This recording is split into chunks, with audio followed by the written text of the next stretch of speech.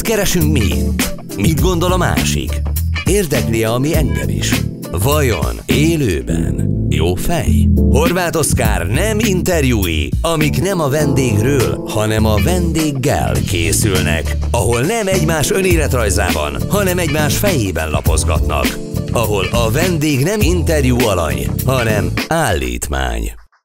Szervusztok, kedves hallgatók, ez az élőben jó fejadása Horváth Oszkárral. Ez az a műsor, ahol a vendéggel beszélgetünk, és nem a vendégről, és végül a beszélgetés alapján alakíthattok ki róla egy képet. Mi szerint élőben jó feje ki Bércesi Robert, zenész, dalszerző a vendégem. Szia, Robi! Hello, szavaztok! És köszönöm, hogy az intellektusoddal megtiszteled ezt a műsort. Azt hiszem, hogy élvezni fogom, de hát ez egy lottó. Ez egy, ez egy kártyás műsor, ahol a témákat kicsit véletlenszerűen közelítjük meg.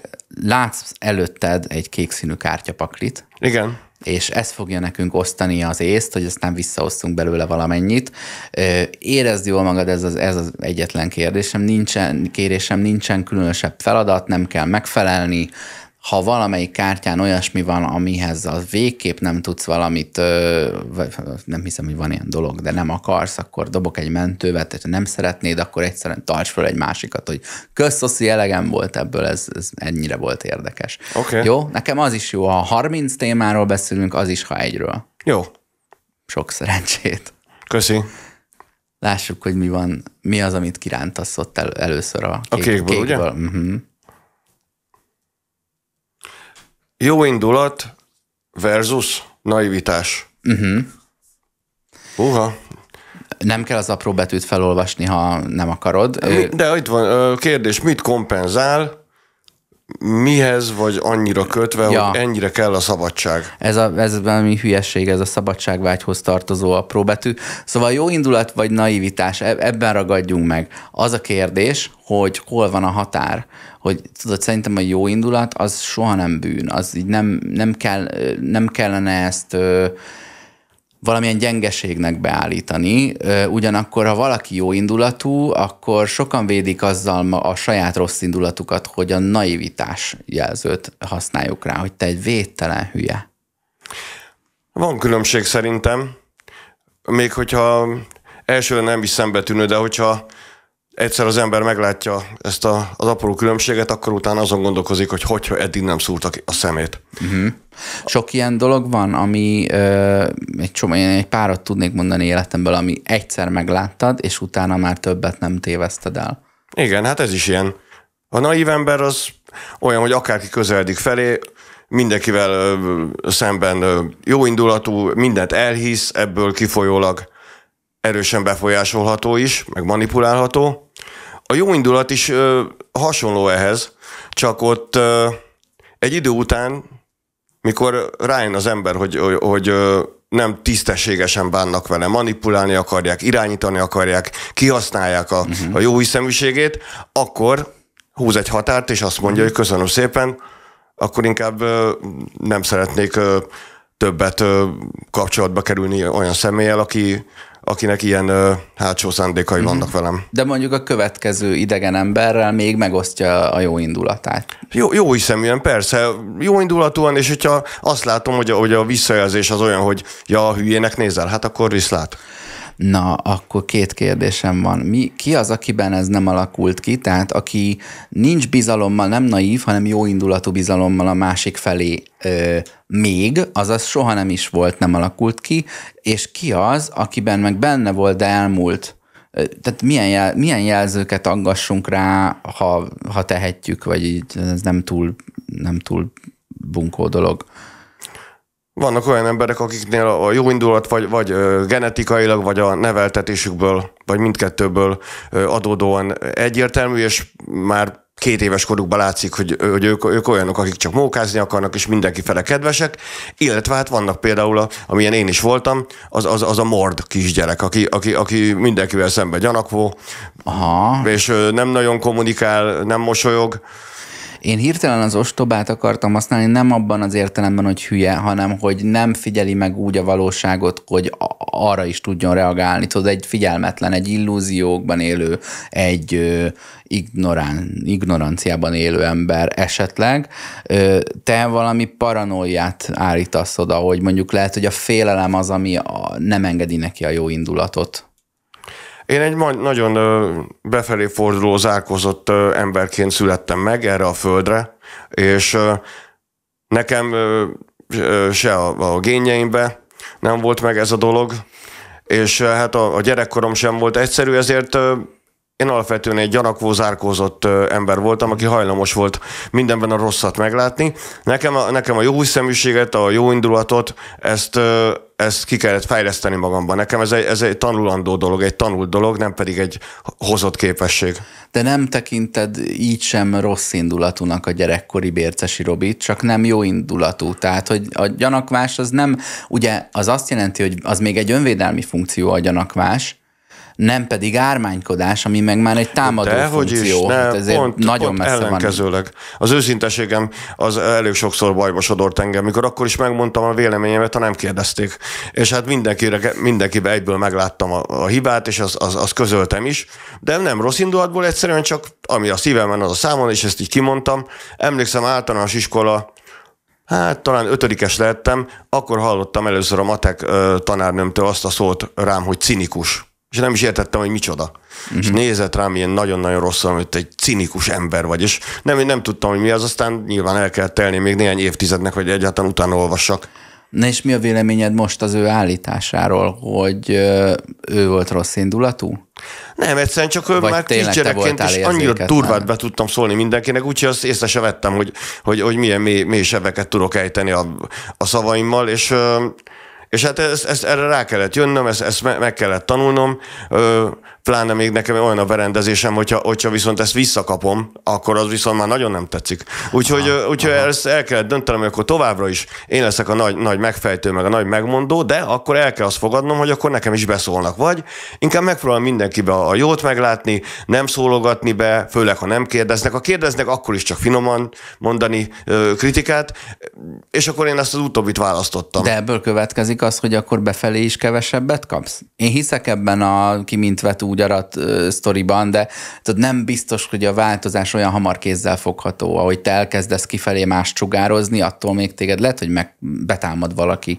Hát igazából, igazából nem, nem volt ez jellemző. Ahogy abba hagytam ezt a, ezt a, ezt a kevély rátarti viselkedést a világ felé, úgy, úgy, úgy megszűntek a, a visszatámadások, és nem volt miért támadni. Ha meg valaki egyszerűen csak úgy a, a jó, jó indulatú, kedves közeledésemre odavakkant valamit, akkor nyilvánvalóan azt mondom, hogy ah, értem, mindjárt jövök, és hát soha többet nem lát. A, a, amikor a jó indulat elvesztését firtattam az előbb, nekem mondjuk egy olyan szó jut eszembe, hogy mondjuk megkeseredett valaki, hogy elveszíti a jó indulatát, vagy mondjuk bosszúálló, vagy túl sok rossz dolog történt vele, de az is megkeseredés, pedig én nem szeretem ezt a szót hallani. Amikor azt hallom, hogy valaki azt mondja másra, hogy megkeseredett, mindig először a féltékenység jut eszembe, hogy, hogy na ez az első megfejtésed arra, hogy ő miért durcás most, és és csak benne keresed a hibát. Nem nézzük meg, hogy mi a sztori, hogy ő ma viselkedik csak így, vagy ez már évek óta tart. De aki elveszíti a jó indulatát, pedig megvolt neki, azzal biztos, hogy történt valami árulás, nem? Én ezeket a kedves tulajdonságokat, meg jó dolgokat igazából elsősorban magam miatt építettem be a, az életembe, a gondolataimba, és a szokásommá tettem, mert hogy az életem nagy részét, mint ahogy mindannyian, én is egyedül töltöm, és szeretném, hogyha egyedül is jókedvű lennék. A, a, a cinizmus, a, a, a rossz indulat, a, a megkeseredettség az elsősorban az adott személynek okoz szenvedést, másodszorban a környezetének. Tehát én nem azért szeretek, hogy, hogy, hogy, hogy viszont szeressenek, hanem egyszerűen a szeretés öröméért, hogy, hogy jól érezzem magam is akkor, is, akkor is, hogyha egyedül vagyok, hogyha nem lát senki, csak Isten, akkor is, akkor is úgy viselkedjek, hogy teljesen a tetteimbe, a szavaimba, a gondolataimba is olyan legyek, hogy, hogy ennek a filmnek, ami az életem, ennek én egy, egy szimpatikus főszereplő legyek magam számára. Ez nagyon szimpatikus, és baromi nehéz egyébként egyensúlyozni ebben a mondani valóban a, mit tudom én, a fájdalomnak a megénekléséhez képest. Tehát, hogy ne, te érzel egy nehézséget, hogy hogy, ö, hogyan tudod a napos oldalt szavakba önteni, hogy az, azt nehezebb művészien tenni, mint a, mint a fájdalmat. Ez pontosan így van. Igen, a, a zeneszerzői pályafutásom, ami én már több mint 30 éve tart, alapvetően az, e, az első két évtized, mondhatjuk ezt, az azzal telt, hogy, hogy én a halálról írtam, bizony sokat, sokat a szenvedésről, a, a, a nehézségeimről, és aztán volt ilyen 2016 körül volt egy ilyen tudatos döntésem, hogy oké, okay, ezt már kimaxoltam ezt a témát, most próbáljunk meg már valami olyasmit írni, ami, ami nem arról szól, hogy mindenünk leépül, és ne ezt kelljen minden hétvégén énekelnem, hanem, hanem néhány olyan, olyan, olyan dalt is tegyünk már be a műsorba, amit, amit időről időről jó esik elénekelni, amiben benne van a boldogság, vagy legalább a boldogságra való törekvés, a pozitív dolgok, viszont nyilván ezek nem képviselnek akkor a művészi értéket, mint ahogy meg is kapom sokszor, hogy nekem ugye a csúcs munkáim, azok a Hiperkarmának az első két albuma, ami hát ez teljesen elborult, elszállt zenei anyagok, és hát az utóbbi időben pedig már ilyen boldog, vidámabb dalokat írok, és hát én, én, én, én most ebbe vagyok, és ez nekem jobban tetszik nem gondolod naívnak magad, most hanem jó indulatúnak gondolod magad, gondolom.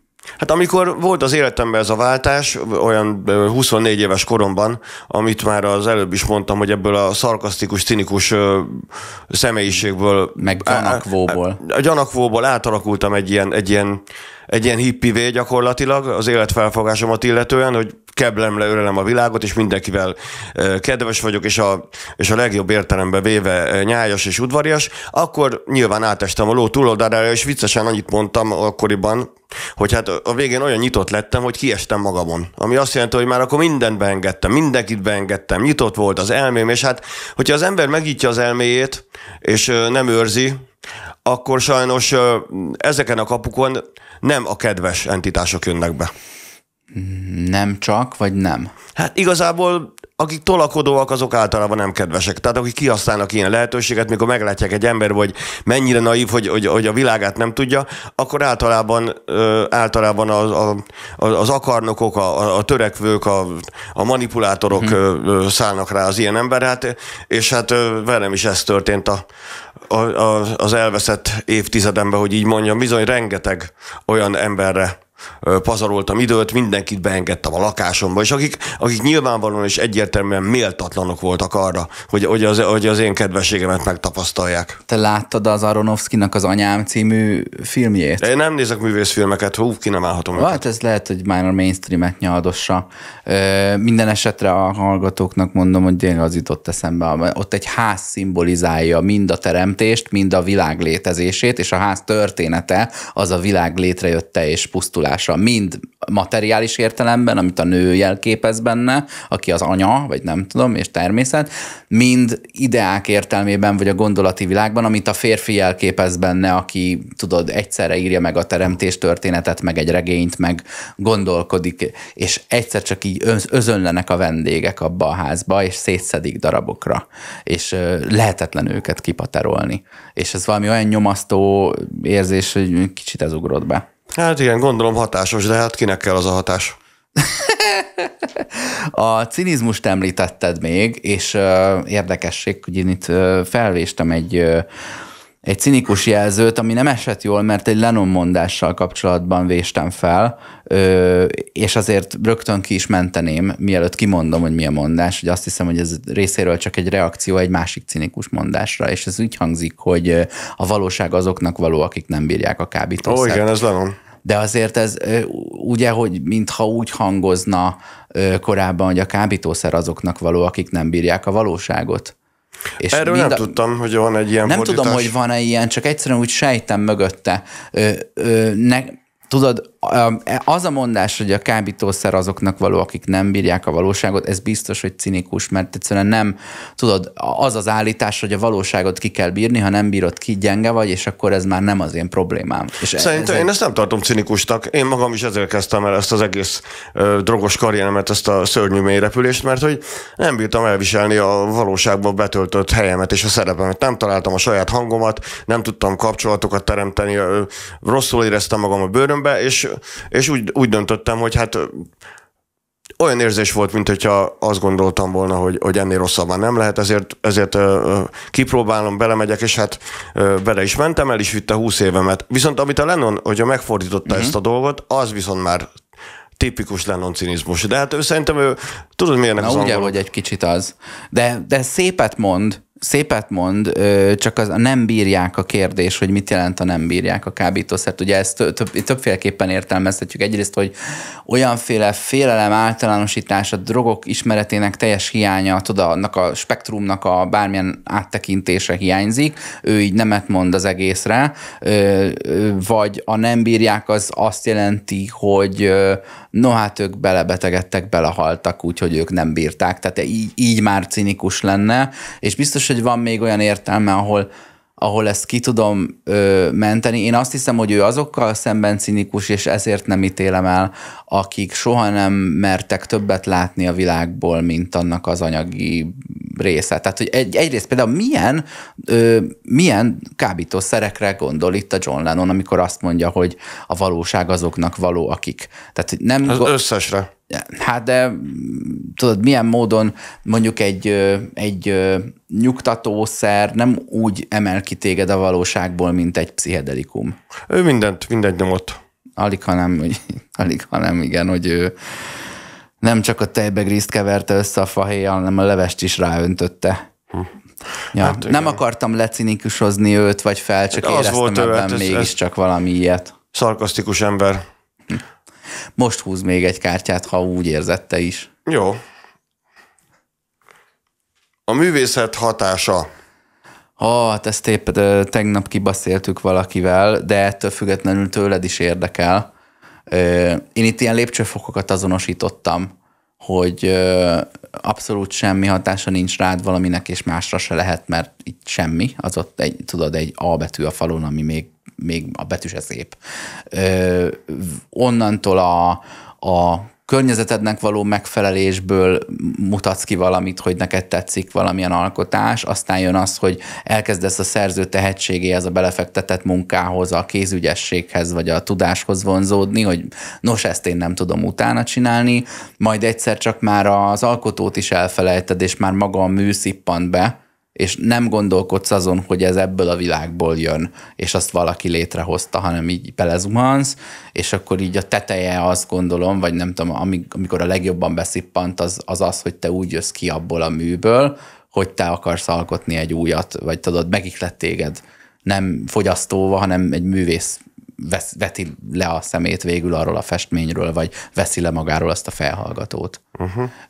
El tudsz ebben képzelni valamilyen állomást, ami, ami még e fölött vagy ezen kívül van? Tehát ami még ordináréban sehogy sem kapcsolódik a műtárgyhoz, vagy az alkotáshoz, vagy ami még bensőségesebb, például valaki belehal egy műbe, mondjuk az bensőségesebb lehet, mint az, hogy megikrette, és ő is rajzol valamit, amit anyukája kitesz a hűtőre.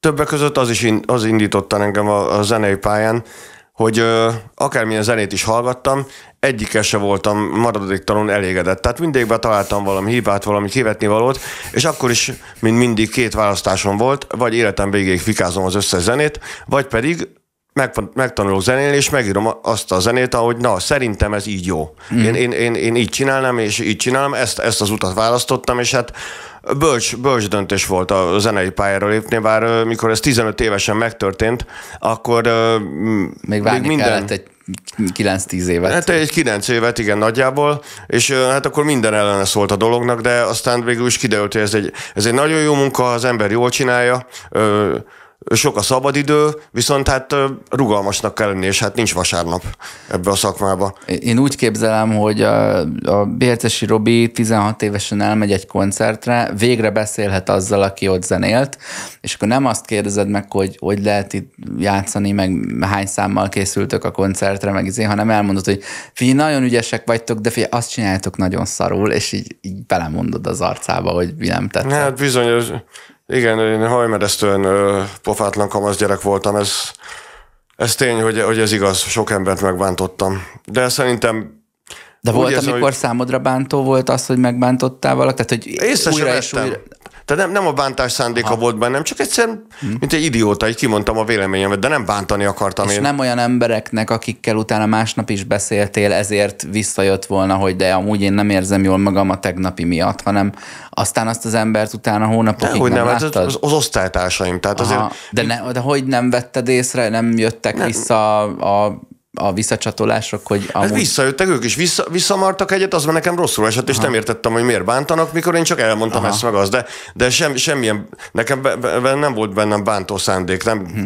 nem, de csak azt hittem, hogy ez, uh-huh. ezt így ki lehet mondani. Hát de hát, a visszabántásból nem érted meg, hogy ők megbántódtak, azt érted meg, hogy most bántanak. Igen, Tehát, igen. Hogy... Aha. Hát igen, ez uh-huh. nem egy jó kombó, nem, nem a legjobb te se voltál akkor egy nagy megfejtő, hogy indirekt módon két lépéssel odébb sakkozd magad, hogy azért bánt, mert, meg, mert én megbántottam. Nem, meg ők sem voltak túl asszertívek, hogy a bosszú helyett a megértést vigyék elé, hogy figyelj, Robi, most éppen nem vagyok olyan jól a tegnapi miatt, hanem egyből a szemet szemért jut eszébe, ami óriási hülyeség egyébként. Hát én, én nem hibáztatok senkit, nem, ha? az nem út.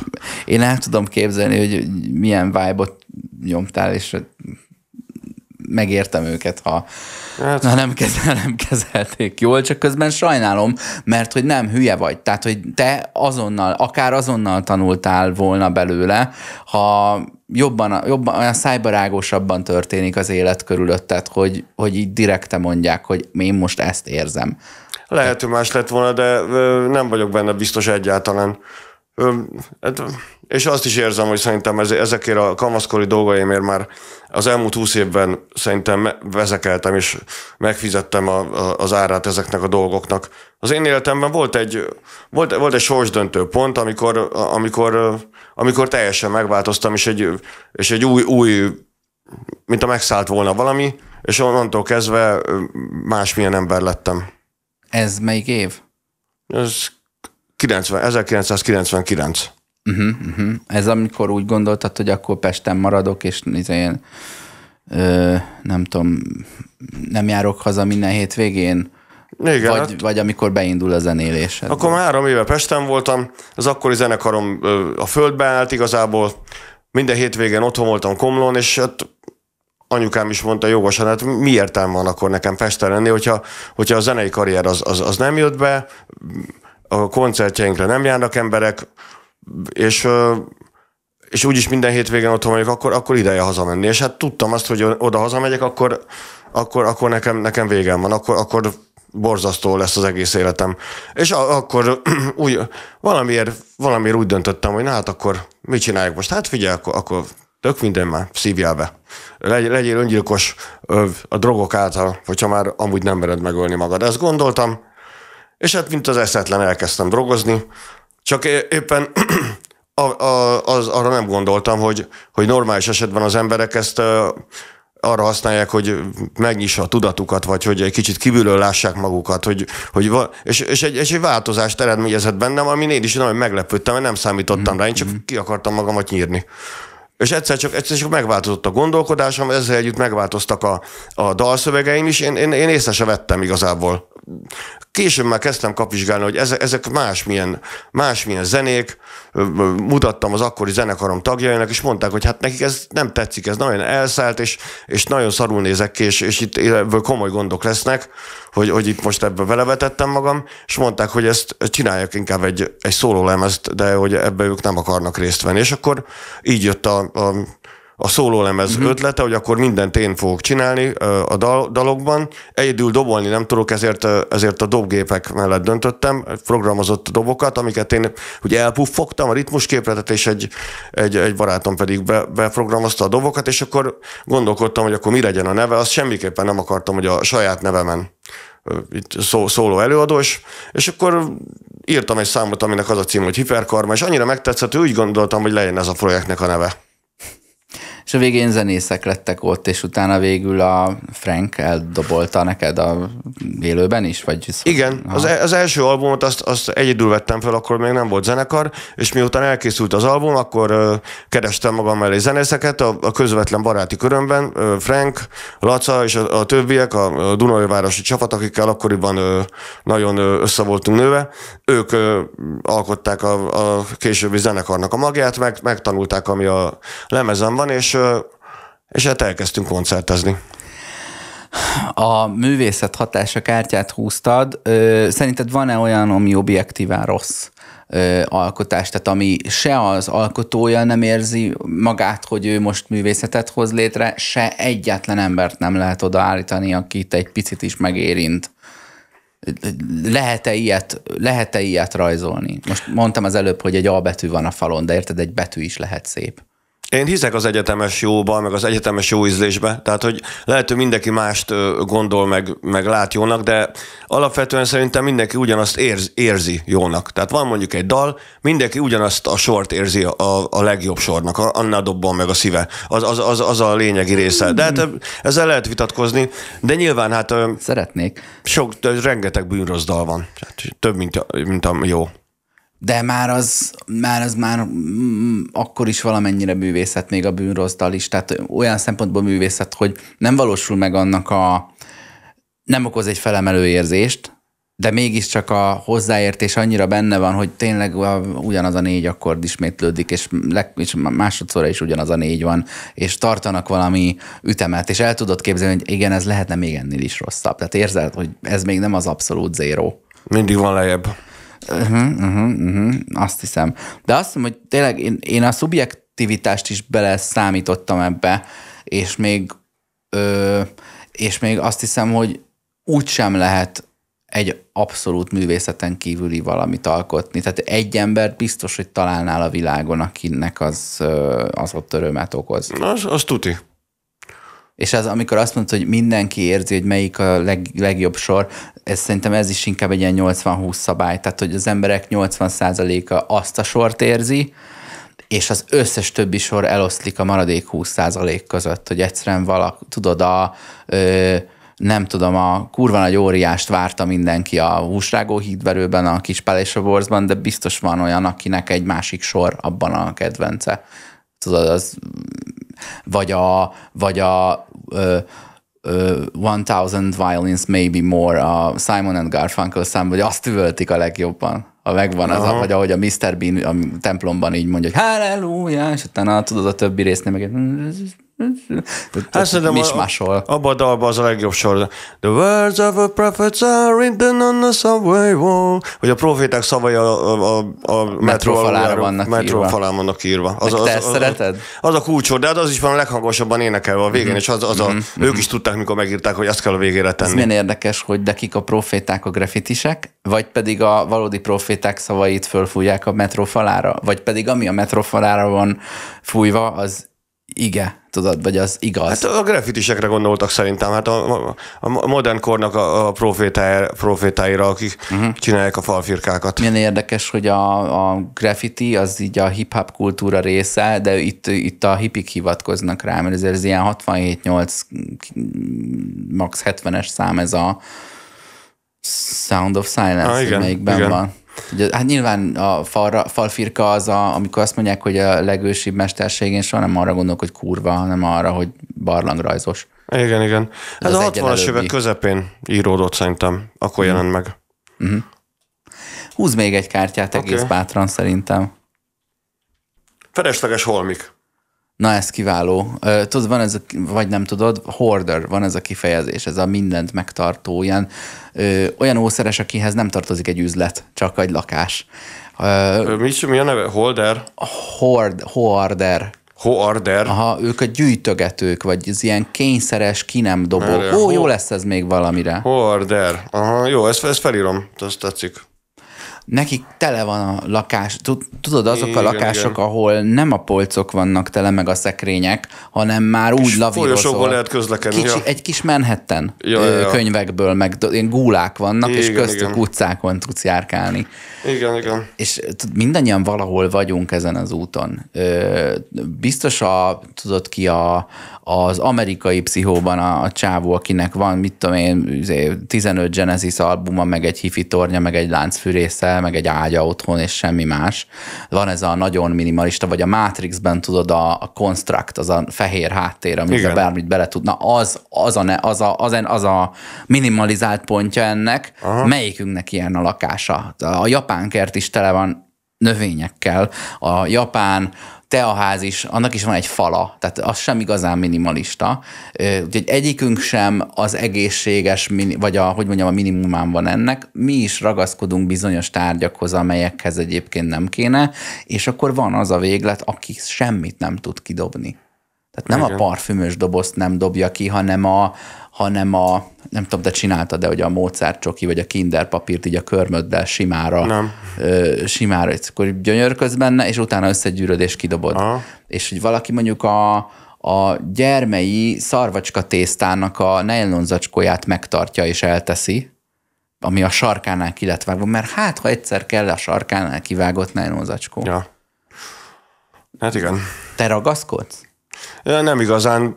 Amúgy se volt túl, túl zsúfolva a lakásom, mert én, én eléggé kényszeres vagyok, és nem szeretem, hogyha sok tárgy van, mert az mindig arra ingerel, hogy igazgassam őket, de nincsenek nincsenek nagyon nekem dísztárgyaim, én csak használati tárgyaim vannak otthon, és volt egy pont 2020-ban, amikor 16, ö, nem, dehogy is, lehet, lehet, hogy 16 ilyen nagy 100 literes szemetes zsákot teletöltöttem holmikkal, ami a, a, a már amúgy is üres, üres lakásomba, és kidobtam, és azóta egy semmi nem hiányzik belőle. Az, de akkor csak volt ott valami.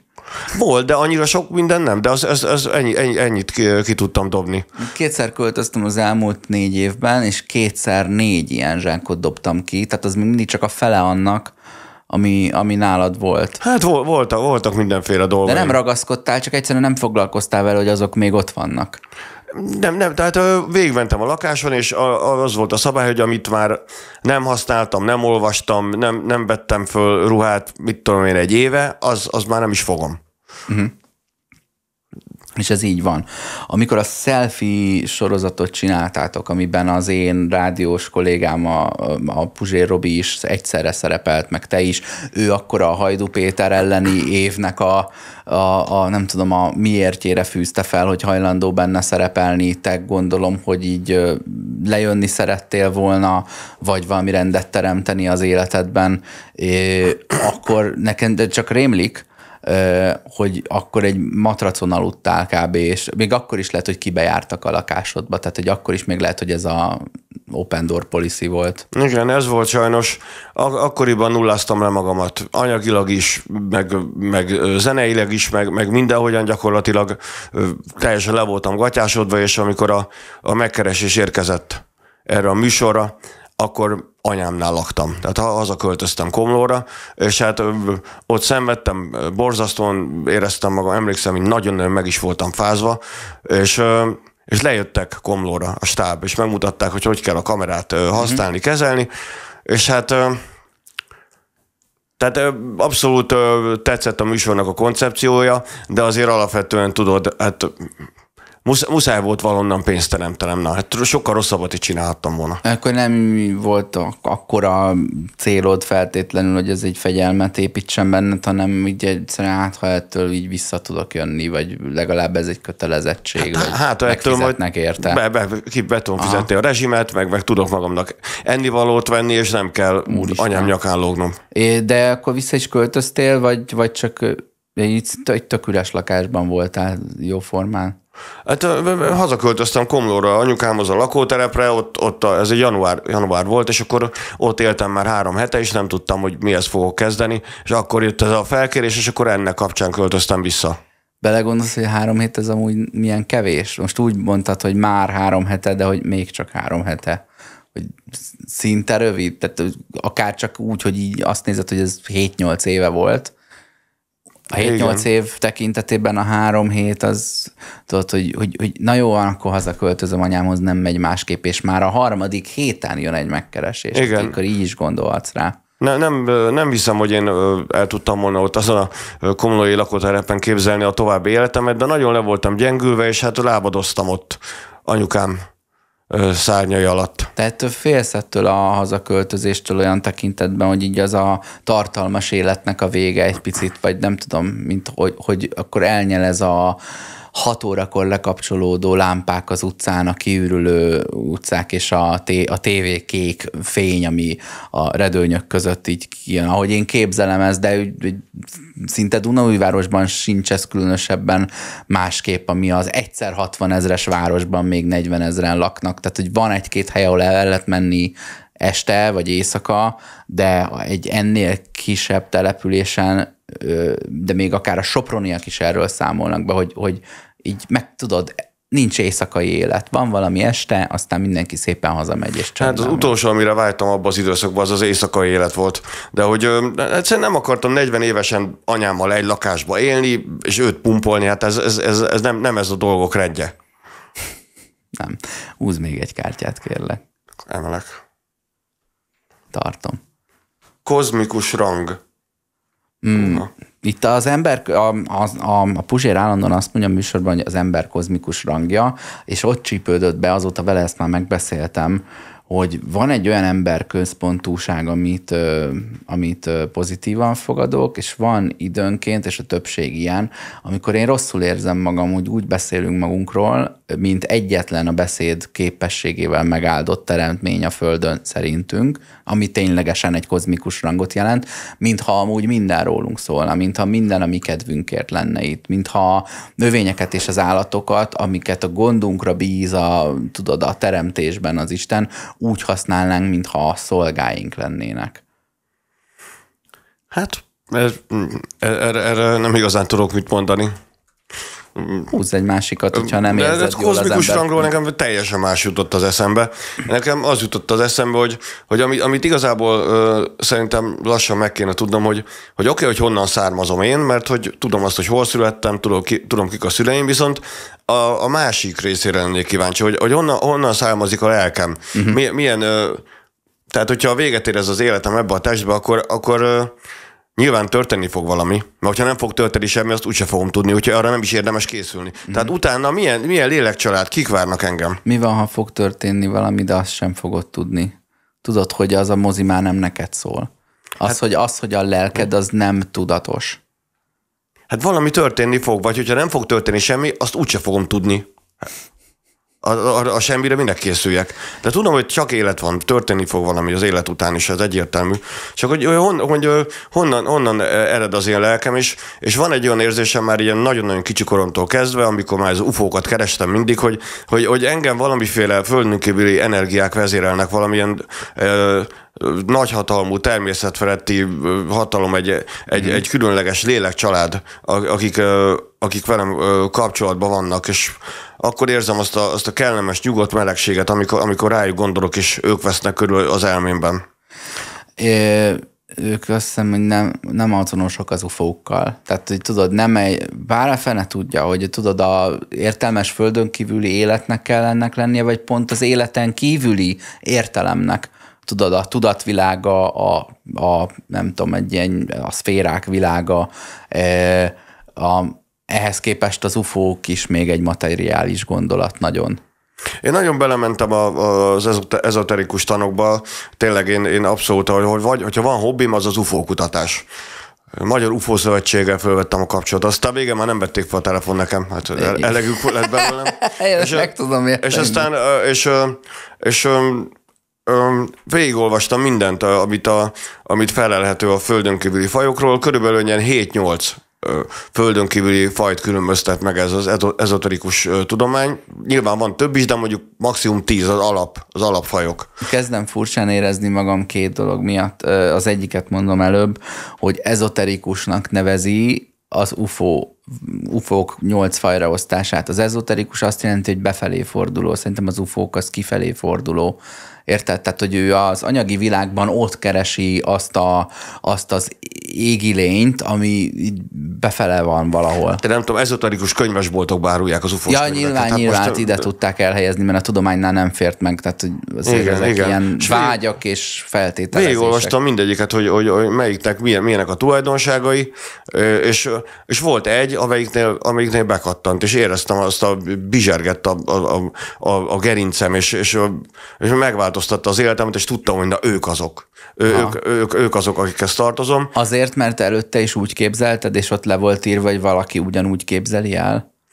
Tehát az volt, hogy végigolvastam mindegyik földönkörű fajnak a, a tulajdonságait, és volt egy, amiknél azt éreztem, hogy tehát éreztem azt, hogy ez az. Tehát, hogy egyetértek azzal, amit mondanak, mm. pontosan értem, hogy miről beszélnek, és, és mm. csodálatos érzés volt, és azóta is ezt, ezt, ezt tartom, mm. ez, ez már, már, már nagyon-nagyon régóta. Hogy haladsz a sci regényeddel? Ezek egyébként a fias csillagkép lakói. De az, én nem tudom, hogy mit látunk mi itt az égbolton, de gyanítom, hogy a, hogy a tejútrendszeren belüli ö, csillagokat látjuk még, és nem pedig az ennél nagyobb ö, rendszerekben ö, találhatókat, és azt is gyanítom, hogy elég kevés lakható bolygó van a tejútrendszerben. Tehát, hogy ja, nem úgy, ezek szellemi nem, nem lőttél messzire. Ezek szellemi lények, ez, ez nem, nem olyan utaznak. Hallottál arról a fogalomról valaha, hogy Boltzmann agy? Nem. Hogy egy, ez egy ilyen, el sem tudom mondani, de olyan nagyon szép állatság.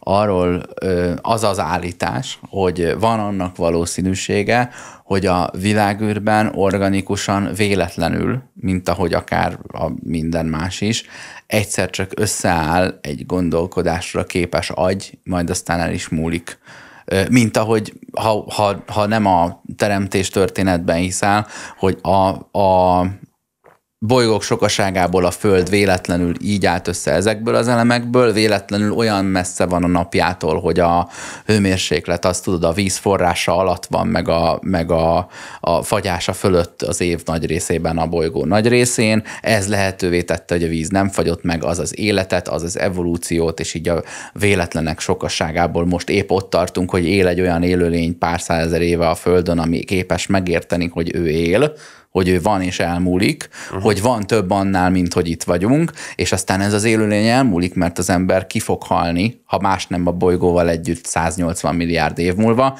azaz létrejött a véletlenségből az értelem, majd el is múlik. Csak mi nem fogjuk fel ezt egy pillanatnak, mert mi azt tudod, minél közelebbről szemléled az életedet, a te saját történeted annál inkább tűnik jelentősnek és irányíthatónak de van egy ilyen fogalom, nem tudom, hogy ez a fizika, vagy a valószínűség számítás, vagy a nem tudom, az univerzum történetnek az érdekessége, de azt mondják, hogy egyszer csak létrejön egy értelem, és utána el is múlik. Hasonló jópofáskodás ez, mint a millió majom a millió írógéppel, hogyha elvileg leültetsz végtelen ideig egy millió majmot, és azok így csak így csapkodnak, uh-huh. akkor lesz egy olyan pont, amikor leírták Shakespeare teljes életművét véletlenül hiszen végtelen idejük volt rá, miért ne fordulhatna elő az is. Hát jó. Ja, azt nem firtatják, hogy ez azért van, mert a majmok értelemre ébredtek, és elkezdtek Shakespeare-t olvasni, és úgy gondolták, hogy akkor le is másolják maguknak. Nézd meg még egy kártyát, ha, ha az emberközpontuságot nem kritizálnánk tovább. Kulturális kisajátítás. Mm, ez nekem új, ez nekem ilyen elmúlt két-három éves figyelem jelenti ezt a fogalmat. Én nem figyeltem fel erre korábban, bár lehet, hogy régebben. Például színészek Indiánnak költöztek valami hollywoodi farsankor, és akkor jönnek a, az amerikai indiánok, akik szóvá teszik, hogy de hát minket ugye nagyrészt kiirtottatok, ne pózoljatok az indián tollainkban, vagy valaki egy hip-hop kultúrát előad egy fehér ember, vagy valamilyen népcsoportnak átveszik részben tévesen a, a motivumait, és megfestenek vele egy repülőgép oldalát, tudod, egy ilyen valami teljesen a pláza kultúrához tartozó tárgy elkezdi hordani azt, amihez amúgy tartozik egy komplett ilyen legenda és mondakör és vallás és népcsoport, hogy vajon minden esetben hisztizni vagy rikácsolni kell, amikor ilyen történik, vagy érdemes szemlélni, hogy ez a jó indulat, vagy a rossz indulat tette ezt a kölcsönvevést, hogy tisztelem azt a kultúrát, és át akarom menteni, és ezért tettem bele mondjuk a saját zenémbe egy világzenei motívumot, Gondolj arra, hogy samplingelsz valami indiai izé cuccot, és beleteszed a zenétbe. Hogy ö, valaki szemében ez is kulturális kisajátítás. Kérdés az, hogy tudod, a saját szobrodat építed belőle, vagy pedig egy egész lemezt szentelsz annak, hogy te bemutasd a kenyai izé, ritmusokat. Én, én, én hallom, és és érzékelem a, a, a szövegi meg a zeneszerzői hatásomat mind a feltörekvő fiatalabb zenekaroknak a dalaiban, és az ország vezető pop zenekarai is a Hiperkarma első lemezére hivatkoznak, mint hogy abból tanulták meg azt, hogy hogyan kell a, a magyar szavakat, a prozódiát úgy megcsinálni, hogy az rendben legyen, és, és elvettek dolgokat a, a, ugye a az én stílusomból, a, a dalszerzői, a módszereimből, és hát mondhatni, hogy kisajátították, viszont én erre végtelenül büszke vagyok. Mondjuk mm. nem ebből fog tejet vásárolni, meg kenyeret, de nagyon büszke vagyok rá, hogy, hogy ilyen módon él, élnek a dalaim memetikailag terjed az örökséged, nem kapsz érte feltétlenül pénzt, de kreditet lehet, hogy íme igen. Mert nagyon jól esik, na, nagyon jól eső érzés, érzés ezt látni. Tényleg azt, hogy mikor elkezdtem ezt az egészet 24 évesen, a, a, a, a zenekarunk közönsége 15-16 éves fiatalokból állt, akik most már eljönnek a koncertre a gyerekeikkel, akik már szintén, szintén van, amelyik már kamaszodik, és, és hogy látom, hogy a dalaim nem öregszenek meg, és, és, és a történetük generáción átívelő, és hát ez, ez egy fantasztikus érzés ezt látni.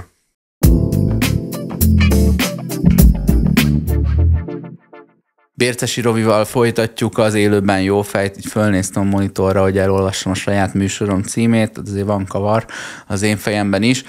A kulturális kisajátításnál hagytuk abba, és ott a népcsoportok helyére végül is te kerültél be, mint alkotó, hogy akkor nem, ugye nem néprajzot hozol létre, hanem a te alkotásaidat, és megemlítetted, hogy neked jó érzés az, hogy a, mai zenészek, vagy a, a Hiperkarma első két albuma utáni, ugye az 2000 és 2003 talán, hogy az azutáni ö, zenészek vissza-vissza hivatkoznak ö, rá, és örülsz, hogy akkor van, aki onnan el tudott venni valamit. Az a kérdés marad bennem, hogy és mi van azokkal a mémekkel, amelyeken már nincs rajta, hogy izé, uh, Sent from my Bércesi Robi tudod, hogy már nincsen rajta, hogy ez honnan van, mert már olyan önálló életet él, hogy valaki e, kölcsönvette, aztán az is kölcsönvette, aztán az is, és a, akitől te hallod, annak fogalma sincs, hogy, hogy ez valaha tőled származott. Hát igazából nekem már a kérdés feltevés előtt, amikor ezt a témát szóba hoztad, tudtam, hogy mit fogok mondani erre. Van egy nagyon jó példám, ami nagyon, nagyon betalál, de biztos vagyok benne, hogy nem fogod elhinni, mint ahogy senki nem hiszi el. Fogadjunk. 2006 körül történt ez? Nem, nem, később.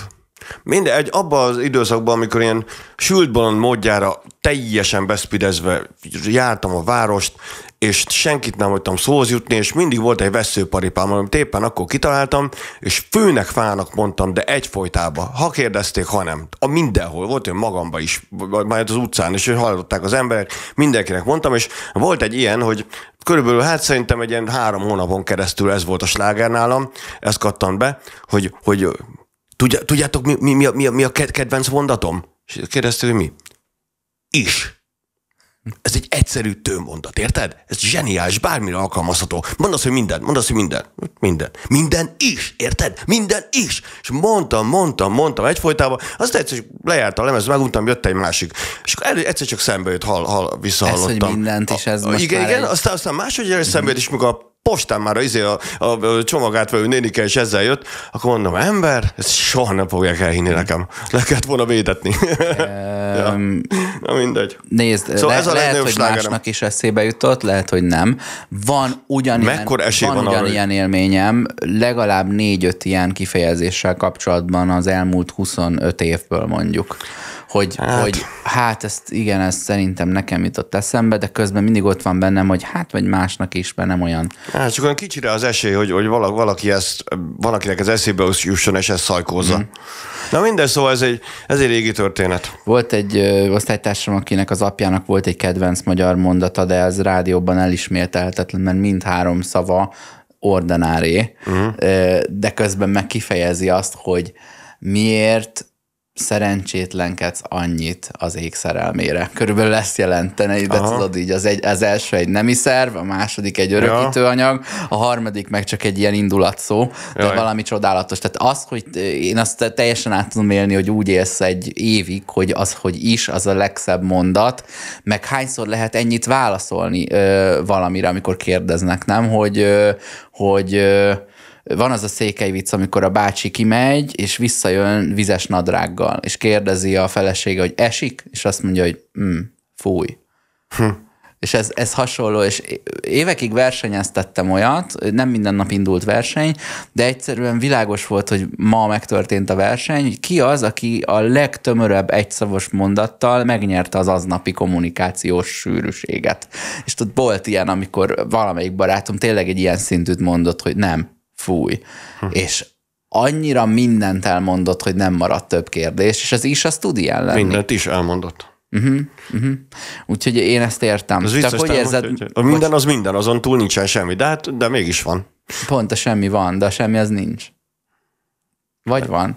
Ezzel lehet szórakozni. Hát a minden is, az nekem azt jelentette, hogy, hogy, hogy, hogy, hogy hogy még azon kívül is. Tehát, hogy, hogy a minden az annál nem Én értem, több. ez egy halmaz elméleti ilyen lehetetlenség. Na, mindent is. Van ebben a kategóriában, de hát én ezt imádom, hogy van ebben a kategóriában valami, amikor azt mondja, hogy hozzá végtelen pénzt, meg egy ezrest. Hogy az is egy ilyen hasonló baromság. Ja. Tudod, ez egy ilyen, ez is egy mém, hogy csak így szokták mondani, hogy az ember gyorsan jó pofa legyen használni ilyen fordulatokat. De hogy érzed magad, mondjuk, ha abban az esetben, ha mindent is az a te fejedből pattant ki, és ez most egy mém, és senki nem tulajdonítja neked, jó leső, vagy valamiről lemaradtál? Inkább? Ó, hát ezek, ezekből volt még jó néhány, és hát éveken keresztül duzzogtam és háborogtam, de hát most már nyilvánvalóan látom azt, hogy hát ez, ez, ez, ez, egy, ez, ez egy megtiszteltetés, szóval, szóval nagyon boldoggá tesz. Egy csomó ilyen találmányommal vagyok így le, hogy végre megcsinálta valaki, tehát így pontosan tisztában vagyok vele, hogy nincs időm az életben mindenre, ami a fejemből kipattant. Így el kell engedni egy csomó ilyen nagy szüleményt, és nem tudsz mindegyikhez odaállni, hogy akkor ez a gyerekem. De amikor szembe jön, nekem soha nem az jut eszembe, hogy na, a rohadék ellopta, meggazdagodott, nem tudom, hanem hogy végre ezt is megcsinálta valaki, és ettől egy picit kényelmesebb a világ valakinek. Hát most már én is így gondolkodok.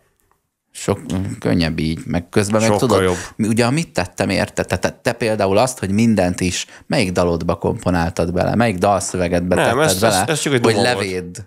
Ez csak egy duma volt, ez ennyi az egész, de nagyon, nagyon nagy könnyebbség most már ezt így úgy látni, hogy, hogy, hogy boldoggá tesz.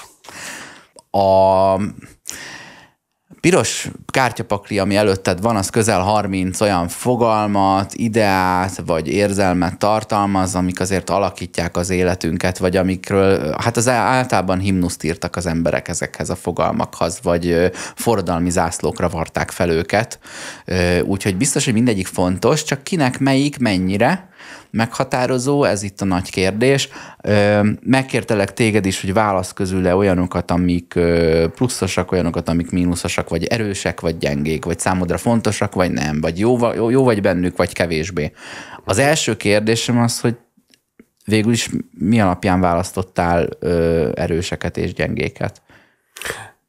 Hát egyrészt azt szerint rostáltam, hogy mikor ránéztem az adott szóra, elindította bennem bármilyen érzést. Másrészt azt, hogy, hogy, hogy érdeklődök-e iránta, vonzódok-e, hozzá affinitásom van ahhoz, hogy beszéljek róla.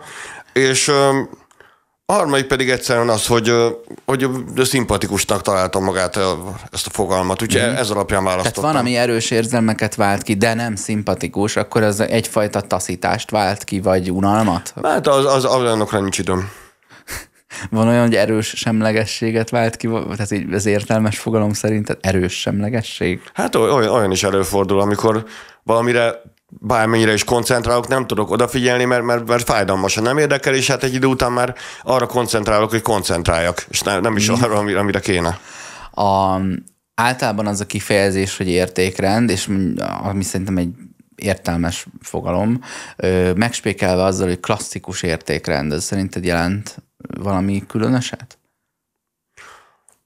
Nem igazán vagyok tisztában az értékrend szónak a fogalmával, hogyha ez azt jelenti, hogy az ember milyen, milyen szabályok szerint éli az életét, vagy milyen tehát, hogy, hogy elgondol magának egy személyiséget, hogy, hogy milyen legyen. Én, én az én értékrendem az az, hogy, hogy a szavaimmal, a tetteimmel, és még a gondolataimmal is, is jó legyek. Tehát mindig mhm. jó legyek, akkor is, ha egyedül vagyok, uh-huh. akkor is, hogy a társaságban, hogy, hogy hogy tényleg, ahogy mondtam a, a műsor elején, hogy, hogy az életem filmjének főszereplőjeként szeretnék egy szimpatikus főhős ö, lenni magam Aha. számára is a jó jelenthet sok mindent. Az, hogy szimpatikus legyél, az az arra való igény, hogy szeressenek, míg a jót, én először, amikor mondtad, én úgy értelmeztem, hogy a nem ártás szándékával veted bele magad az életbe, vagy az élet hátralévő részébe.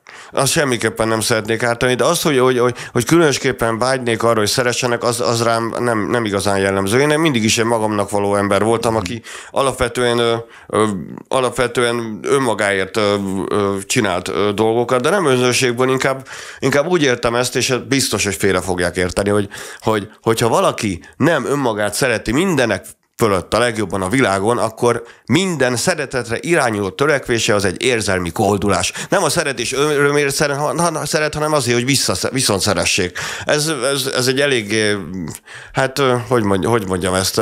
Hát aki nem szereti magát eléggé, azt senki nem szereti. Aki meg magát legalább szereti, azt már egy valaki szereti. Igen, meg hát az, az egész életünknek a javarészét azért mindannyian egyedül töltjük, pláne én, akinek se kutyám, se macskám, se családom, még egy növényem sincsen. Úgyhogy azért, azért nem mindegy az, hogy az ember, mikor egyed, egyedül van a gondolataival, vagy lekapcsolja elalvása előtt a villanyt, hogy hogy érzi magát. Uh-huh. Hogy el tud-e mosolyodni magába a sötétbe, kedves gondolatai támadnak, vagy, vagy, vagy retteg, vagy, vagy hülyeségeket gondol, vagy, vagy szemétségeket, vagy, vagy de szóval ez... Már lehet, a... hogy az is egy eufemizmus, hogy elalvás előtt, mert annyira rosszul, rosszul van, hogy nem fog tudni elaludni. Hát az is előfordul, az életem során bizony. Azért azt mondtad, hogy szimpatikus figura legyen az a főszereplő az életet filmjében. Neked legyen szimpatikus, te nézed végig az életet filmjét, más nem nézi végig. Igen, igen, hogy, hogy a magam Aha. számára, hogy ja, én, ja, ja. én belül önmagamban találjak meg egy, egy lelki békét, és ez, ez számomra ez, ez, ez a legfontosabb. Félreértettelek akkor, mert ugye, hogy szimpatikus szereplő legyen másoknak, az jelenteni azt, hogy szeressenek, de hiszen a filmet azt te nézed végig. Ha magadnak akarsz szimpatikusnak lenni, ö, maradni, az azt jelenti, hogy tartást kívánsz. Tehát, hogy a, ahogy te az értékeket szemléled, abból ne essél ki, legyen erőd megtartani, hogy te az te legyél, és akkor amikor megnézed a filmet, akkor neked te szimpatikus Igen, leszel. Igen, lássam azt, hogy na, ez egy rendes rác, rendesen, biztos, visel, rendes, rendesen viselkedik, de... jó gondolatai vannak, békésen él, és, hmm. és nincs rejtegetni valója, mindenkiről jót gondol, aki, aki aki bebizonyítja neki, hogy, hogy, hogy mégsem jó, attól elhatárolja magát, de úgy, hogy, úgy, hogy sem nem bántja meg.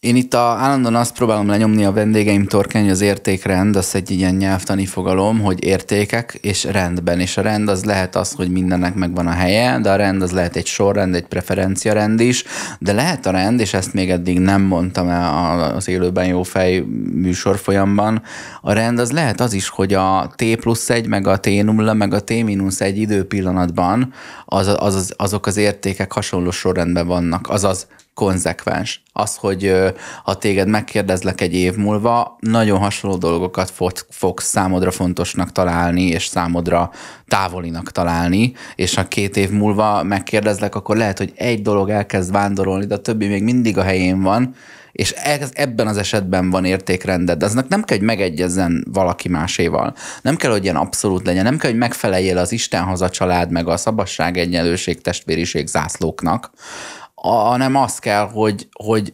kiszámítható legyél, és akkor megismerhető vagy, és akkor ha én hasonló vagyok hozzád, akkor tudok hozzá kapcsolódni, nem különben, ha te ö, megnézed életed filmjét, és konzekvens volt a csávó, és bármikorra pörgetsz bele az életed filmjébe, akkor leszel magadnak szimpatikus, ha a, hogy mondjam, azt szerint viselkedtél, ami belülről diktálódik. Ez nem biztos, hogy azt, tudod, nem biztos, hogy helyes, hiszen valakinek ordinári dolgok diktálódnak belülről, de saját magának annyiban szimpatikus lett, lesz, hogy legalább magát nem csapta be. Hát nem tudom, erre, erre nem igazán tudok mit mondani, csak egyszerű ö, dolgok jutnak erről az eszembe, ami irányítják az életemet. A legfontosabb a kedvesség, utána a becsület, az őszintesség, az igazságosság, de alapvetően a kedvesség az visz mindent. Hogyha, hogy, hogyha kedve, kedves az ember a, a környezetével, ez meg magához is, akkor igazából, igazából nagyon-nagyon nagy baj akkor nem történhet. Rá is mutattál akkor valamire, ami az én hiányosságom, nincs ott az értékeim között a kedvesség. Nem tudom, hogy melyik értékkártyám tartalmazza a jó szándékot. Talán a, nem tudom, hogy van-e ott olyasmi, ami a nagyvonalúságra, van olyan, ami a méltóságra vonatkozik. Aha, hát azt, a lélekből következhet a kedvesség, tudod, attól, hogy bánj úgy vele, mintha saját magaddal bánnád, ami egyfajta ilyen kifordított önzés. De Aha, hát nincs. közte, és most mondtál egy olyat, hogy nem tudom elmondani, hogy melyik kártyám alá tenném, úgy, hogy ráadásul nekem ez ilyen, izé, ez egy ilyen életvezető dolgom, ez a metta, ez a, ö, ö, hogy mondjam, loving kindness, tudod, ez a jó indulatú kedvesség, az, hogy ne akarj bántani, meg kívánj mindenkinek alapvetően jót, nyilván a naivitás határain belül, de még inkább azon túlmenően, mint hogy bántó módon. És ehhez képest nem találom ott a kártyák között. Nem, itt nincs. Na, megfogtál. Eddig a Szabó Eszter kollégám, aki szintén gyulai születésű, vagy uh-huh. nem mhm. tudom, hogy te meddig laktál Gyulán. Hát egy éves koromig. Ő mutatott rá, hogy a rugalmasság mint érték nincs a pakliban, és te vagy a második, aki egy olyat mondott, ami tényleg nagyon hiányzik onnan. A rugalmasság is fontos, főleg, hogyha az ember a showbizniszbe dolgozik. Ott aztán egyszer hopp, már szokop. Nos, előtted van egy erős, meg egy kevésbé erős pakli. Ugye elmondtad, hogy milyen szempontok alapján erős vagy gyenge. Az egyik, az egyik kis csomagban ott több, több dolgot válogattál össze. Az egyikben három van, ha jól láttam, a másikban talán öt. A, igen, a, hát a, úgy választottam, hogy ugye ötöt választottam azok közül, amelyikhez, amelyik úgymond szakértő vagyok, amelyik foglalkoztat engem, amihez értek, meg van három olyan, ami, ami, ami, hát, ami, ami mondjuk így a, a defektjeim, tehát hogy amikbe törekednem kell, és, és olyan, olyan dolgokat kell megtanulnom, ami a legtöbb embernek egy, egy alapvető beállítása. Uh-huh. Ö, melyiket adod elő előbb szívesen? Nekem mindegy, hát legyen akkor ez...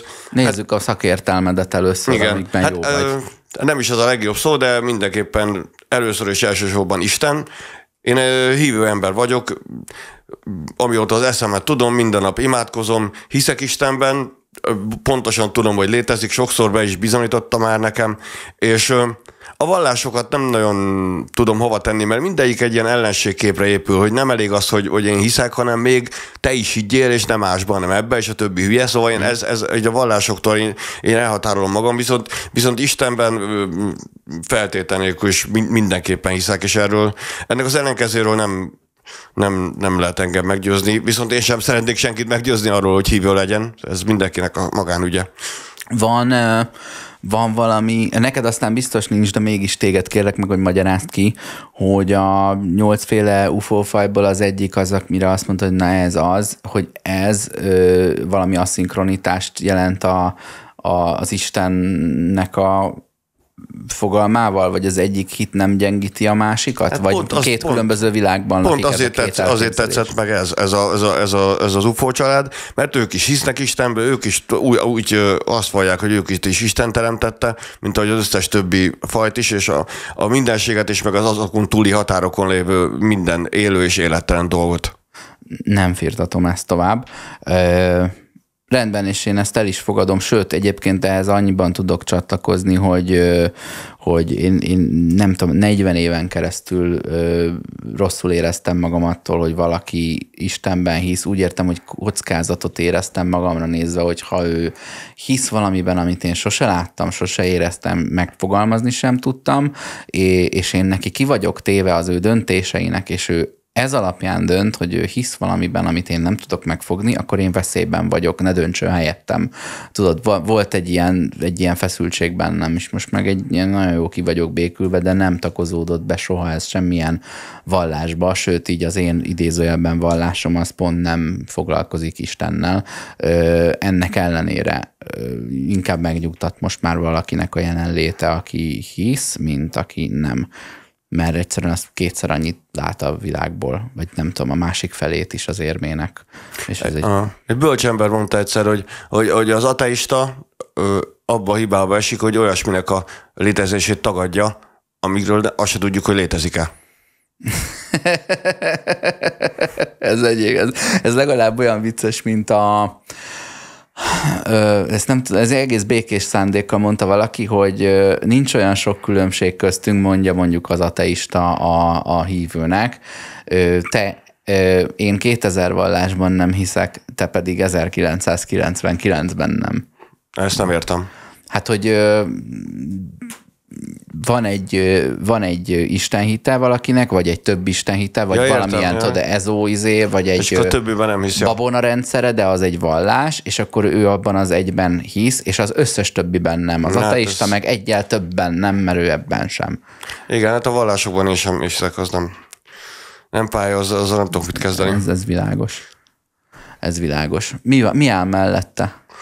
Hát a másik, amikben úgy érzem, hogy, hogy, hogy ö, szakértő vagyok, hiszen az elmúlt bő 30 évben azért ragadt rám ez az, az a művészet, ami, ami alatt azt érzem, értem, hogy hát itt van, vagy mesterség. Tehát, hogy, hogy a, a dalszerzés is bár nagyon érdekes, izgalmas és exotikus munka, de alapvetően egy munka. Uh-huh. Nem kell túl misztifikálni a dalszerzés folyamatát, várni a múzsára, egyszerűen csak csinálni kell, mint hogyha az ember napi 8 órába dolgozna, és akkor előbb-utóbb megjelennek a kis, a kis műhelytitkok, hogy, hogy, hogy hogyan kell hogyan, hogy, hogyan kell dalt írni. Hát ugye a gyakor, gyakorlattal uh-huh. együtt egy, egyre letisztultabb lesz a, a, a, a, a mű, amit az ember alkot, és a művészettel kapcsolatban mindig azon nevettem magamba, hogy hogyan lehet egy mű eredeti, amikor mű.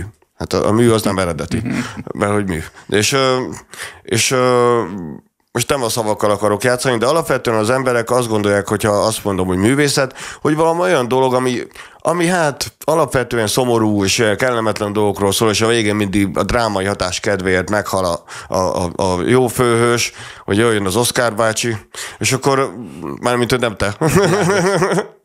hanem, hanem az Oscar díj érte. Szóval, hogy, hogy mindig, a művészet nekem mindig arról szól, hogy, hogy ettől a szó nekem kicsit alapvetően pejoratív. Tehát ami már ilyen happy end, meg boldog, az már, izé, az már nem művészet. Én ebben nem hiszek. Én hiszek abban, hogy, hogy, hogy a daloknak és a filmeknek is már happy end kell végződnie, mert egy film az már nem arról szól, mint amikor, mint amikor megszületett maga a film, hogy, hogy egy, egy tükröt mutat nekünk, hanem elébünk került, és már mi utánozzuk a filmet. Ezért, ezért muszáj és kötelesség lenne, hogy, hogy happy end legyen a vége. De hát ezt a gondolatsort ezt nagyon kevesen értik. De ez, de ez nagyon szellemes tényleg. Egy médiában dolgozó, mainstreamben dolgozó emberekkel van sokszor az a vita, hogy a, vajon a Vajon a mainstream média termékek utánozzák az emberi viselkedést, vagy az ember utánozza, amit a tévében lát? És ugye ezt, ez, ez, hát hogy mondjam, egyik pillanatban így van, a másikban úgy van, de tényleg igazad van, hogy azért trendet állít be az, hogy mi a, mi a kánon. És a, mondjuk a romantikus film az a kapcsolatoknak a kánonja.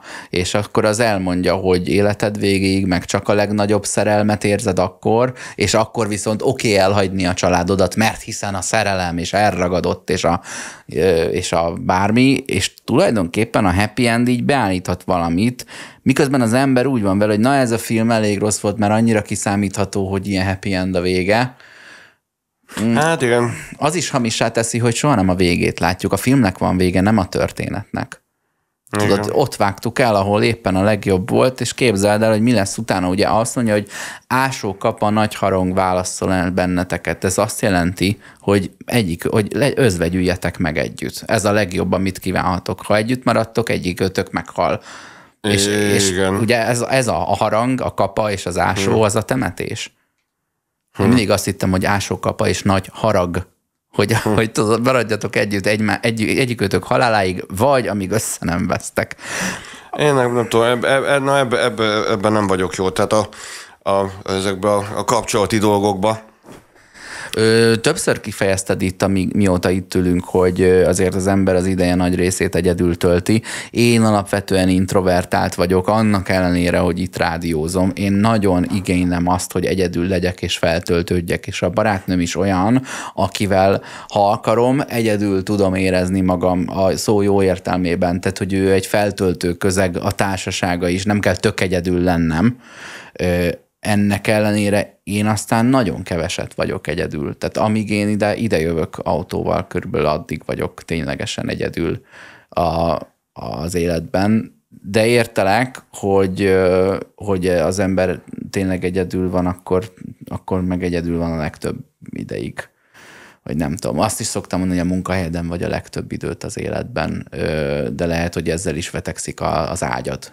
Hát én mivel hogy soha nem volt polgári munkám, én valóban a, a, a konkrétan a, a, az életidőmnek a legnagyobb részét egyedül töltöm el, mivel hogy egyedül élek már nagyon régen, és, és ez ezen nem is tervezek változtatni, viszont soha nem vagyok magányos. Én egy olyan ember vagyok, akinek rengeteg hang szólt mindig is a fejébe, amióta megszületett, és most, hogy végre kitisztultam, és megjelentek a, a, a kedves hangok, most kifejezetten jól érzem magam a bőrömben, és jól el vagyok egyedül, és hát és nem, nem, is, nagyon, nem is nagyon hiányzik az életemből senki, aki, aki mind, mindig mellettem lenne. Azt én nem, nem szeretném már, vagy nem mondom azt, hogy soha, van, amire azt mondom, hogy soha, erre nem mondom azt, hogy soha, de most én úgy érzem, hogy így, így jó beállt az életem egy, egy, egy, egy egészséges, ö, ö, folyamatos jóra. Kedvesek lettek a hangok?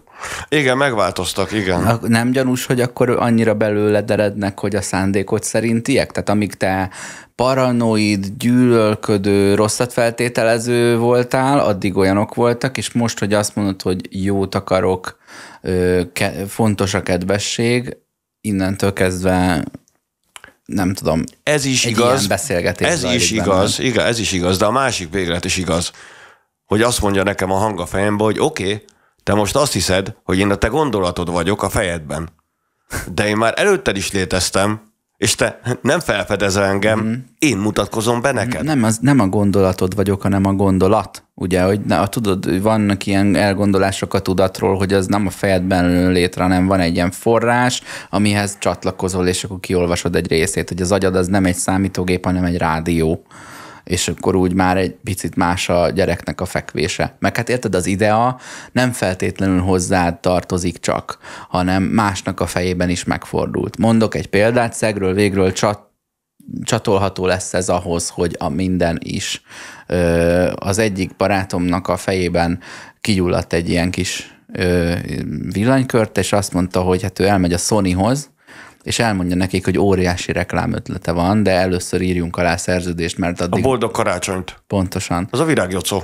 Nem, ez most épp a Kovács Krisztián, tehát hogy épp ezt mondom, hogy a gondolat Ez a virágjocó ötlete volt, ő mondta nekem, egy bará, kedves barátom mondta, hogy figyelj, van egy zseniális ötletem a sony a boldog karácsonyt, és hogy ezt senkinek nem mond el, még véletlenül se. Ez, ez az ő ötletem. Na látod, hogy valaki másnak ugyanez a története megvan, hogy ő, ő is azt mondja, hogy annyira jó ötlet, hogy nem mond el senkinek, és hogy a, és a hallgatóknak ez? mondom, mert így még ha mondom, se lesz könnyű elképzelni, hogy a karácsony szónak az utolsó négy betűje az, hogy Sony. Igen. Ugye a csét az bontsátok föl, és akkor úgy Sony. És egy ezzel... Más színű betűkkel szedve. Na most ez a srác elment a Sonyhoz, ahol elmondta ezt, hogy de amíg alá nem írunk, és azt mondta a Sony csáv, hogy csak nem arról van szó, hogy boldog karácsony. Ja, ja. És ilyen, tudod, ilyen elkámpicsorodott feje lett a Krisztiánnak, aki most lehetne a te barátod is, hogy ja, akkor mindegy. Ugyanígy hát, volt a boros haverom azzal, hogy a West Endnek mekkora nagy izé, ö, szlogán lenne az, hogy a West Endbe rohansz. És mondtam, hogy figyelj, senki nem akar olyan konnotációt a bevásárló központjához, hogy az ott az élet végét jelenti, ha, igen, ha bemegy. Ez nem a pokol, bár bizonyos szempontból igen, de hogy tudod, nem, nem láttam erről, egy ilyen, láttam erről egy ilyen mémet, ilyen rajzos viccet, hogy, hogy ott volt a West End, és ott, ott, ott állt előtt a, a Luke Skywalker egy fénykarddal, és az volt, hogy állj meg Luke, a West Endbe rohan rohansz.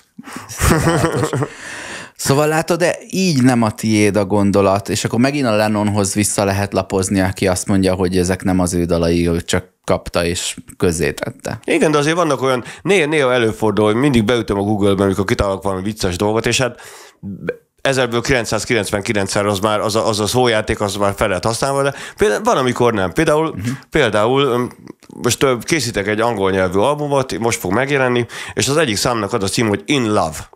Ennyi, In Love. És nincs ilyen című szám. De hogy ilyen Discogzon vagy hasonlóan rákeresel, ahol tényleg minden fenn hát van. Én a Google-t használom, ott nincs In Love című szám, az biztos. És uh, például nem kitaláltam azt, hogy, hogy, hogy Budapest, és ilyen sincs. Oké. okay. Az Ez, ember azt hinné, hogy van. Uh-huh, egy plastikai sebészet valami. Hát inkább egy, nem tudom, egy közlekedési műsor. Hmm. Isten, művészet, ezeket ö, elénk tártad. Mi a... Jó, sőn egy defekt. Még... Jó, azt is lehet, hogy balra és jobbra is adunk mindig egy-egy kártyát. Jó, jó, most egy olyan dolog. Ez, ez a boldogság. Elégedettség, derű, hála. Ez egy olyan dolog a boldogság, ami ami a, a legtöbb emberben ez egy természetes beállítás, viszont én nagyon-nagyon negatív és depresszióra hajlamos génállományjal születtem, és hát a, a gyerekkorom se, sem volt éppen egy egy lányregénybe való, tehát nem, nem volt egyszerű az életem, ahogy, ahogy felcseperedtem, ezért nekem a boldogság az egy olyan dolog, amit meg kellett tanulnom, hogy hogyan kell, hogy hogyan, hogyan kell elégedettnek lenni az életemmel, hogy hogyan, hogyan lehetek hálás érte, és, és hogyan, hogyan élhetem az életemet alapvetően derűsen, és azt kell mondanom, hogy 47 éves leszek néhány ö, nap múlva, de körülbelül azt kell mondanom, igen, három éve érzem azt, hogy, hogy sikerült rátalálnom erre, erre a boldogságra, és azóta azóta nem is engedjük egymást. Szóval ez, ez, ez, ez nekem egy defektem volt. Ez bölcsesség egyrészt, hogy erre a következtetésre jutottál, másrészt példa, nem úgy példa, hogy úgy járjatok a Bércesi Robi útján, hanem, hanem egy példa arra, hogy tényleg úgy van, hogy a bölcsesség, vagy a boldogság az egy döntés hogy az egy attitűd. Tehát mondod, hogy te ez egy defekted volt, és neked el kellett sajátítani a boldogságot, tehát az egy látásmód. Az arra, hogy hálás vagyok azért, amim van, ö, örülök, ha lesz több, de nem, de nem jár. Tehát nem várom, és nem elvárom, és nem rablásként élem meg, ha holnap nem lesz egy kicsit jobb, hanem igyekszem azzal, amim van, egy picit kibékülni. Ö, másrészt pedig van egy tévedésed lehet, de nem tudom, én csak egyszerűen másképp gondolom, hogy azt mondod, hogy a legtöbb emberben ez már benne van, szerintem nincs. Tehát mindenkinek, nem mindenkinek, vannak szerencsések, akik ilyen, akik, akiknek tényleg mindenük megvan, meg vannak szerencsések, akik egyszerűen nem kívánnak többet, és már elégedettek. Kevesebben vannak, mint azok, akik évtizedeket töltenek abban, hogy még ez sem elég, ez sem elég, és tényleg csak akkor lesz elég, ha ők eldöntik, hogy elég és ezt olyan nehéz em, olyan embernek mondani, akinek mondjuk a sorsa, ezt többször elmondtam már rádióműsorban, nagyon távoli az enyémtől. Hogy jövök én ahhoz, hogy hátba veregessem a, nem tudom, a koldust, hogy ugyan már azért, ez is milyen szép nap. Hát, én mondhatom a, a két évvel alattam járó gimis egykori haveromnak, akivel utána egyetemre is együtt jártunk, hogy nyugi, lesz még jobb éved a vállalkozásodban, nekem is van, voltak szarok, voltak jók. De én azt gondolom, hogy mi aztán elég távol állunk, tehát én egy szerencsés ember vagyok, nekem elég nyugodt családi környezetem van, én nagyjából ugyanott lakhattam egész életemben, nincsenek ilyen rettenetes traumáim, vagy nem vettem észre őket, vagy nem akkorák, hogy érdemes legyen foglalkozni velük. Mégis ugyanazt mondod, amire én gondolok. Tehát, hogy ez egy, ez egy készség, amit el igyekeztél elsajátítani, Igen. és nagyon örülök neki, hogy ezt mondtad. Most odaig jutottam, hogy hogyha, hogyha megkérdezik tőlem, hogy, hogy szerintem mi az élet értelme, akkor az én életem értelme, hogy a, amíg élek, minél több boldog pillanatot éljek át, minél több örömteli emléket raktározzak el, és pont. Itt viszont már önellenmondásba kerülsz, már bocsánat, de hogy pillanat volna-e az a boldogság, tudod?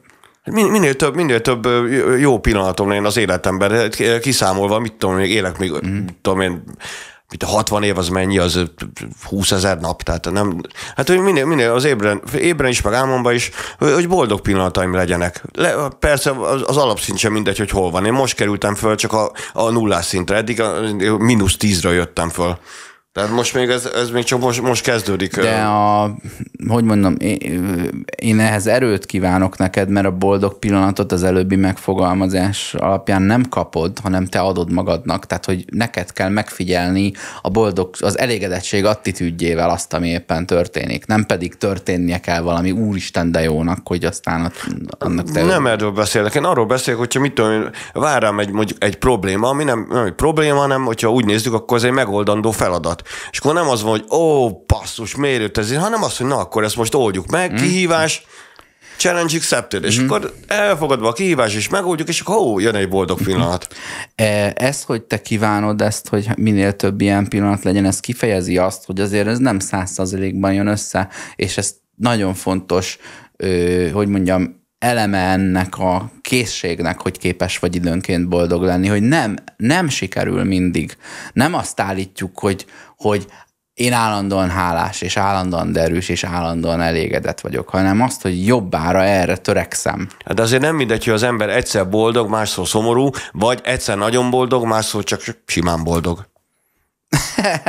helyezed a, a nulla hát, amplitúdót valahová? Hát most már igyekszem. Mm, szemlélet kérdése. Én azt hiszem, hogy én nem így fejtettem meg, hanem hogy az ember néha kicsit boldog, és néha kicsit szomorú, és úgy ez, ez a legbiztosabb, ami történt. Tudod, e, nekem ez a legotthonosabb, és mondd azt, hogy tartalmatlan, akkor ez vagy. El, elegem volt a szomorúságból, elég volt, azt már ismerem jól. Hmm? Még valami eszembe jutott, és ez nem most, hanem lehet, hogy már fél órával ezelőtt az, hogy a, az, hogy van belső narrátora egy csomó embernek. Más kérdés úgy hangokat hallani, hogy úgy tűnik, hogy ők tőled függetlenek, de, és én ezt nem tudtam. Te tüsszentesz, ha a napban nézel? Nem, nem, nem, nem, nem Tud, tudom. Tudsz róla, hogy van ilyen?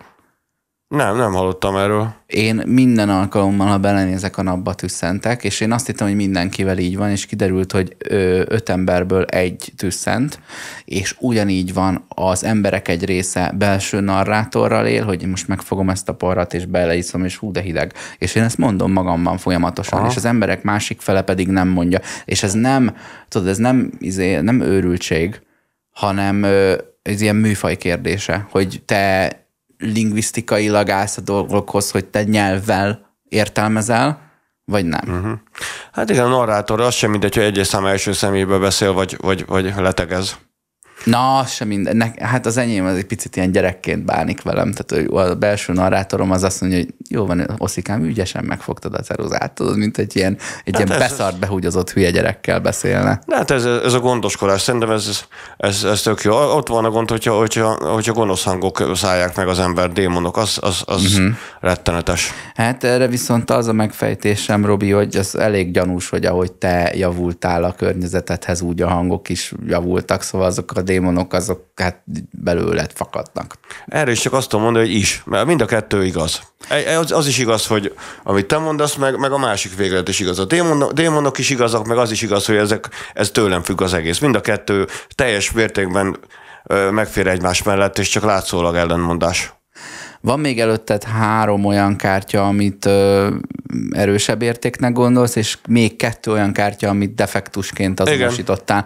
Ö, akár inkább egybe azt a három kártyát nevezd meg, ami a, a pozitív oldalon van. Hát igen, ami az erősségem, ami, ami, amiben jó vagyok, amit, amit jól ismerek, és fontos számomra, az uh, itt a, a, a, a szabadság, az uh, az számomra arról, abból sosem engedtem. Az, az egy ö, olyan tulajdonságom, hogy, hogy olyan vagyok, mint, mint a macska, hogyha macskára pórász kötsz, akkor nem fog neked menni, hanem lehasal a földre, és nem mozdul meg, akkor sem.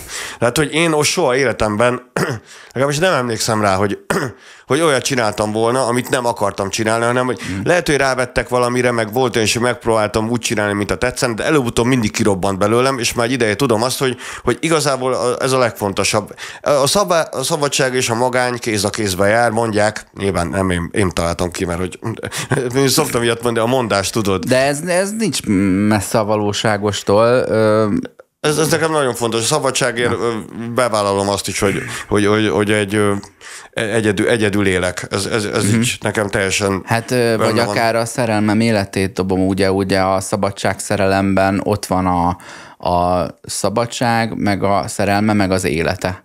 És hát akkor igen, azt az mondja, szól, hogy a, a szerelméért az életét, tehát a szerelme többet ér neki, mint a saját élete, igen. és ezt úgy tudja fokozni, hogy a szabadságért viszont a szerelmét is, ami szinte egy embertelen tett, mert valaki más áldozok föl, vagy a viszonyunkat. Én nem így értettem ezt, hogy a, szerel, a szerelmét, mint, mint, nem mint, odadobja, mint egy nőt, mint egy hanem mint a, szer, a szerelme a fogalmát. Minden esetre lépcsőzetesen elrendezi, és akkor így a tetejére tudja tenni a szabadságot, de ugye mi az ára? És itt ebben az esetben például a magánnyal fizetett be az árát, vagy akár a félelemmel, mert én azt érzem, hogy te néha akár a póráz árnyékától is félsz, tehát hogy, hogy Isten ments, hogy én hazakerüljek Komlóra, meg...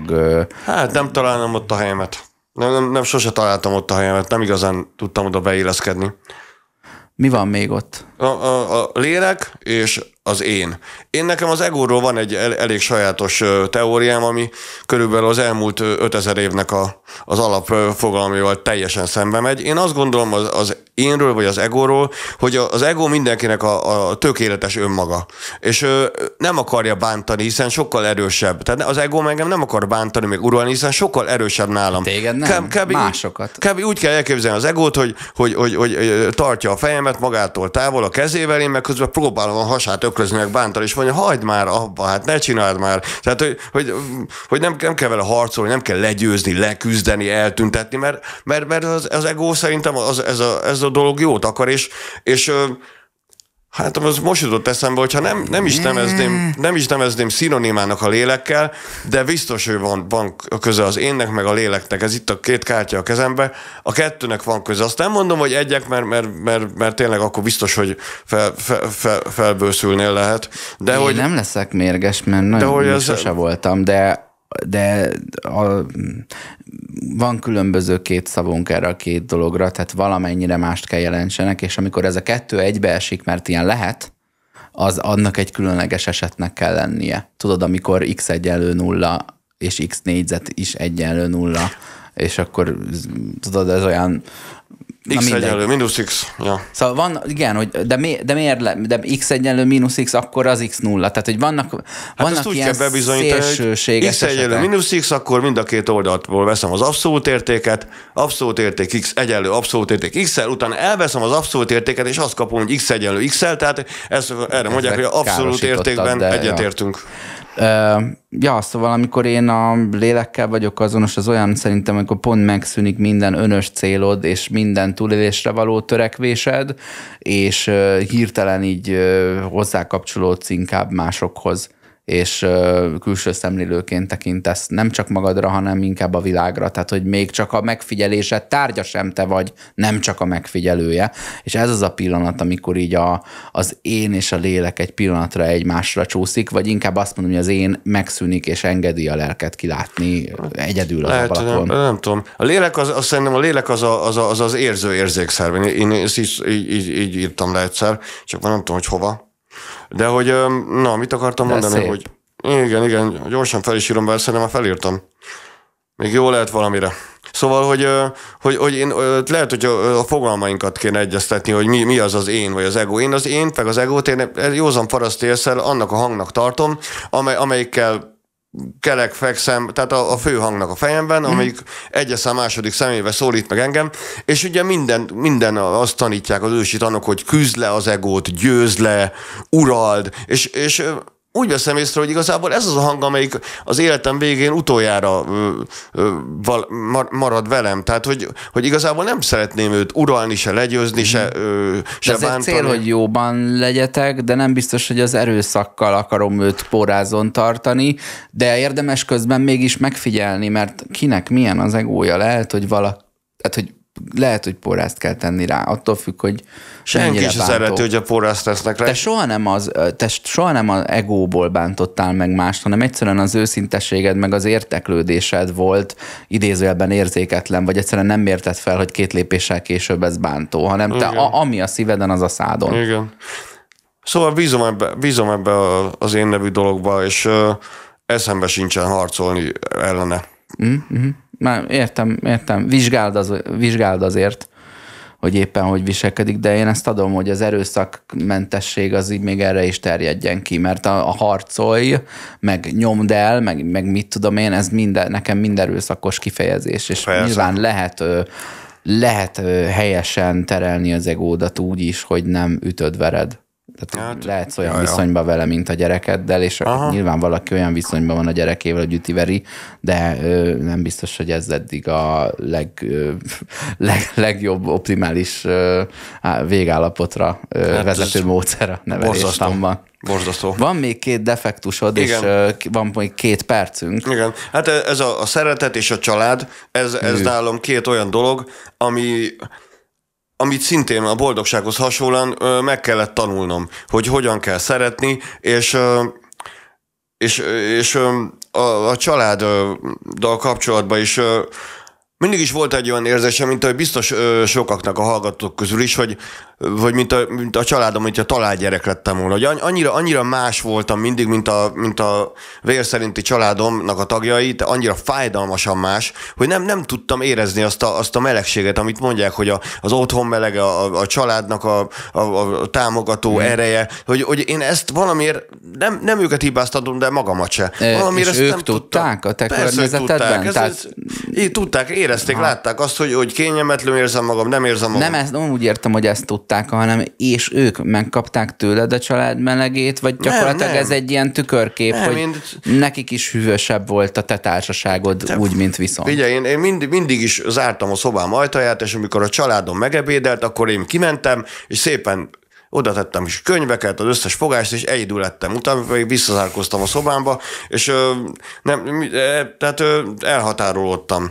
És, ö, és hát ö, azt mondja egy angol mondás, hogy a barátok a választott családod. Mert hogy igazából a, a fizikai család az is nagyon fontos, és szeretem, támogatom őket, de alapvetően a, a test elenyészik, a lélek viszont örök. Ezért gondolom azt, hogy azért a, a lelki kapcsolatok mondjuk úgy, hogy időtállóbbak. De ettől függetlenül most már mióta tiszta vagyok, most már minden erőmmel és minden módon támogatom a családomat.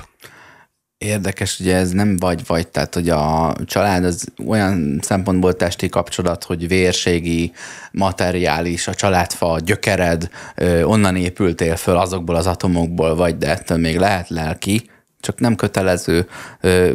Én egy barátomat nagyon sokáig szekáltam, hogy béküljön ki az apjával, amíg elég olyan apát nem láttam életemben, akivel nem érdemes kibékülni, és azóta nem vagyok ilyen erőszakos, hogy ő olyan legyen majd, mint én, hogy majd mindenkivel jóban van.